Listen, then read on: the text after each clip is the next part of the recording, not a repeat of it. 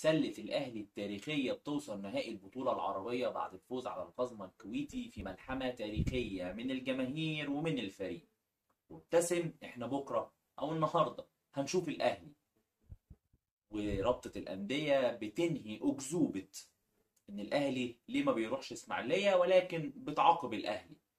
وتمرد إمام عاشور بيتطور وبيوصل للتلفظ وللاشتباك بالأيدي. لكن إعلامنا لا أسمع لا أرى لا أتكلم.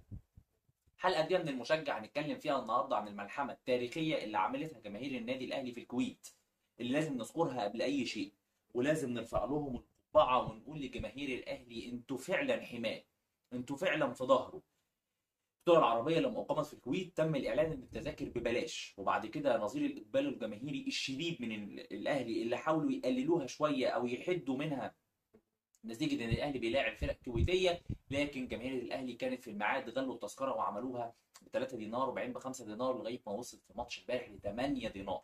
ومع ذلك راح جمهور الأهلي ومع ذلك في رجال أعمال مصرية قدرت إن هي توفر 100 تذكرة وفي رجل أعمال آه، رئيس نادي الكويت الكويتي وفر آه، أو نادي الكويت وفر كمان 100 تذكرة. بنشكر كل الناس اللي ساعدت الجماهير وبنشكر الجماهير وبنرفع القبعه لل- للجميع من جماهير النادي الأهلي.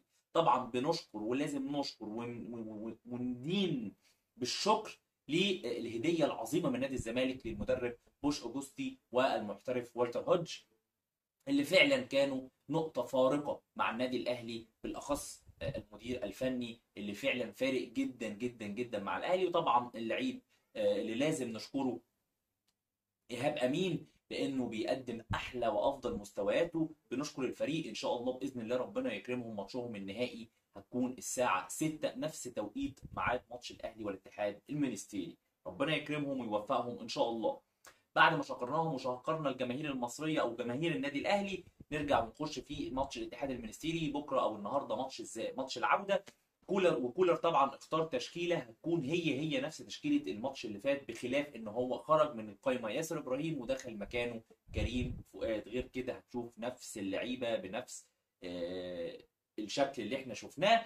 طبعا كولر أثبت أو بي- بي- بيقول رسائل لعيبته إن هو بي- بيوعد اللعيبة إن هو يشيل الفكرة السيئة اللي الجماهير واخداها في المنظر اللي خرجنا بيه السنة اللي فاتت من إن أنت خرجت من كل البطولات وإن الجماهير زعلانة بيقول لهم إن هو في أول ماتش دي بيوعدهم إن هو يكون آه، في ظهرهم وإن هو هيكون إن شاء الله يجدد علاقته مع الجماهير وإن هو هيحسن الصورة عند الجماهير في الماتش دي ولكن أنتوا تساعدوني بالأداء وبتنفيذ وي وي وي وده إن ده اللي يدل إن الراجل داخل جوه المنظومة الراجل بيتحمل مسؤولية المنظومة وده اللي هو موصله للعيبة وبيحاول يوصله للجماهير. إن شاء الله ربنا يكرمنا النهارده والأهلي يفوز فوز مريح ومرتاح يدي رسالة لكل في أفريقيا بالذات إن أنت بتلاعب فريق مهم وكبير زي الاتحاد المنستيري تاني الدوري التونسي وفي نفس الوقت يكون بروفا قوية جدا لبداية الدوري اللي إن شاء الله سوف تنطلق يوم الثلاث الدوري هيبدأ يوم الثلاث لكن يوم الأربع هيكون ماتش الأهلي والإسماعيلي وهيلعب الزمالك مع سموحة.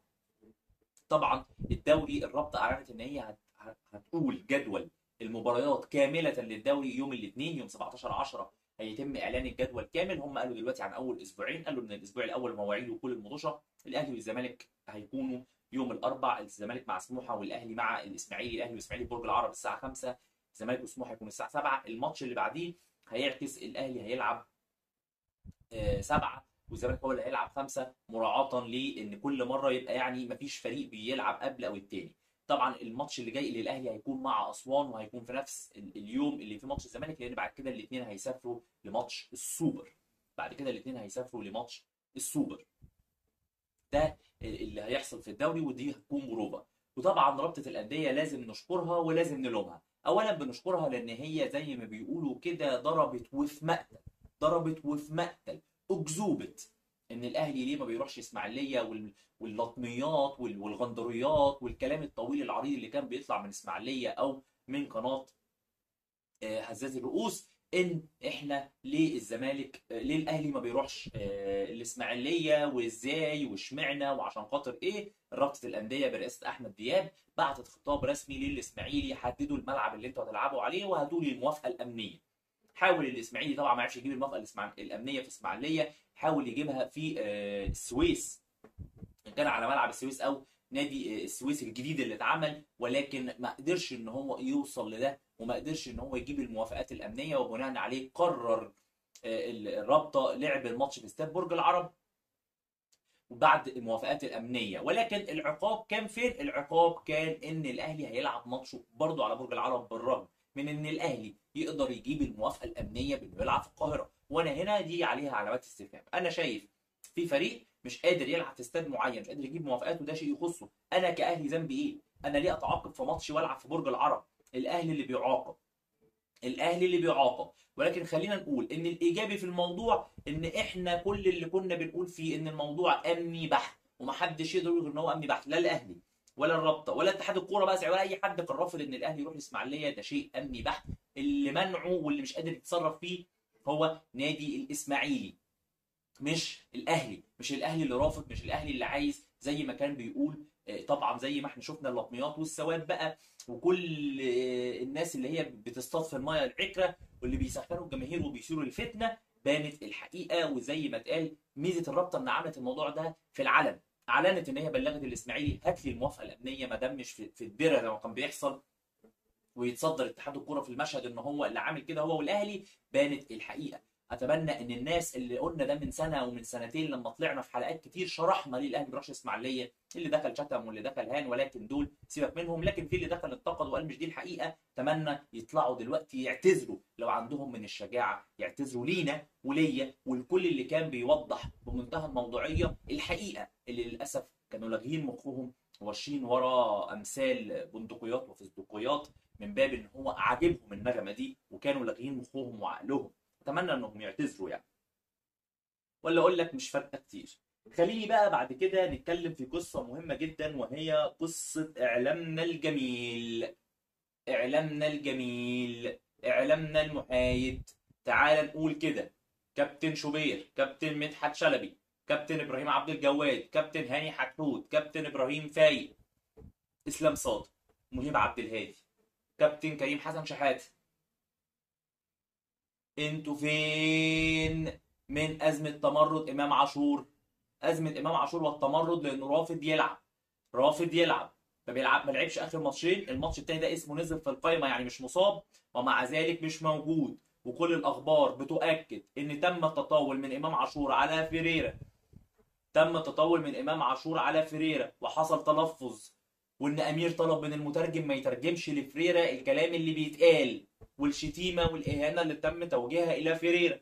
فيريرا كده كده مش هتفرق كتير لأن هما بيخبوا عنه شتمته زي ما حصل بالشرقي لما شتمه في ماتش 2 2 لما قال له أقسم بالله شيكابالا ده مدرب ابن تيت. وعادي وعدت. زي ما عدت وكان مانع سيف الجزيري اللي كان متمرد وبرده كان قال مش هيشارك معايا ومع ذلك اتحايلوا عليه وسيف الجزيري شارك. ففريرا هيعرفوا يضحكوا عليه دلوقتي. ولكن فريرا كان رافض لعبوا الماتش الأول. وإمام عاشور لما راح يتخانق معايا اتخانق معايا لو أنت بتضغط عليا عشان أنا بطالب بمستحقاتي. وإن أنا عقدي يزيد فبتضغط عليا أنت ما بتلعبنيش. ومش عايزني أتمرن. بناء عليه طبعا بعد ما كان حط اسمه في الماتش التاني شاله والموضوع تطور زي ما بقول لك للتلافظ في كلام بيقول إن الموضوع كمان تطور لخناقة مع أمير. في خناقة بتحصل مع أمير جوه النادي. في خناقة بتحصل مع أمير جوه النادي ما بين إمام عاشور وما بين أمير لأن إمام عاشور مش مقتنع وشايف إن عقده لازم يزيد ويتساوى بلعيبة نص الملعب الموجوده دلوقتي لأن هو يعتبر من اللعيبة الفئة الأولى. وإن أنت كنت واعدني بده ما ينفعش تقولوا لي بعد كده مفيش السؤال المهم فين إعلامنا من هذا الحدث الرياضي المهم؟ تهيألي لو كهربا كان عنده ربع الخبر ده كان زمان الدنيا قايمة وما قعدتش. أنتوا فين من الخبر؟ أنتوا فين من تفاصيله؟ هو ده مش خبر رياضي يخص الرياضة ويخص نادي الزمالك إحدى الأندية المصرية اللي أنتوا بتناقشوا أخبارها يوميا ولا إحنا الأخبار بقت مقفولة على الأهلي وبس؟ ده السؤال. ده السؤال المهم اللي محتاج كنا تجاوبوا لنا عليه. لكن للأسف في إعلاميين طلعوا كمان ده في إعلاميين يعني قرروا إن هم يوجبوا وينفوا إن إمام عاشور متمرد ولكن الأحداث عمالة تكبر تكبر واللي أنتوا بتخبوه النهارده بكرة مش هيقدر وبعده مش هيقدر. وزي ما عملتوا قبل كده في قصة بن شرقي وزي ما عملتوا قبل كده في قصة أبو جبل وزي ما عملتوا في قصة طارق حامد. وللحمد لله ربنا أكد صحة كلامنا. اللي بنقوله لما بنطلع نقول معلومة بتبقى هي دي الحقيقة. وطارق قال لكم bye bye وبن شرقي قال bye bye وأبو جبل كان ماضي وقال bye bye. وبالرغم من النفي إن ده ما حصلش اللي طلع في الآخر حصل أعتقد إن موضوع إمام عاشور عمال يتفاقم ويكبر لغاية ما هيظهر على السطح وهتفضلوا للأسف شكلكم وحش جدا قدام الجماهير اللي بتسمعكم وبتستنى منها بتستنى منكم الأخبار. عيب قوي لما الجماهير تشوف. وبعدين ترجعوا تقولوا الفتنة والسوشيال لا اللي بيعمل فتنة حضراتكم اللي بيعمل فتنة لما الجماهير تشوف إن أنتوا بتتكلموا عن أخبار النادي الأهلي وبس. وما بتجيبوش سيرة أخبار نادي الزمالك. الأهلي اللي لو حصل فيه إن كهربا دخل كده آه، ما قالش صباح الخير بيبقى فيه خبر ومانشيتات إزاي كهربا يخش النادي الأهلي من غير ما يقول لسيد عبد الحفيظ صباح الخير. لكن مع الزمالك لا أسمع لا أرى لا أتكلم. وهسأل السؤال اللي سألته امبارح في حلقة امبارح بعد ما وضحت أكتر من 8 قضايا أو 9 قضايا. الإعلام الرياضي ما بيتكلمش فيها وهي تخص الزمالك. النهارده هسأل نفس السؤال تاني. متى هي... متى سوف يقدر الاعلام الرياضي عن مناقشة الأخبار الرياضية التي تخص الزمالك. شكرا ليكم وشكرا لمتابعتكم وإن شاء الله بإذن الله اشوفكم في حلقة جديدة وشكرا لوقتكم الثمين الذي لا يقدر بثمن سلام.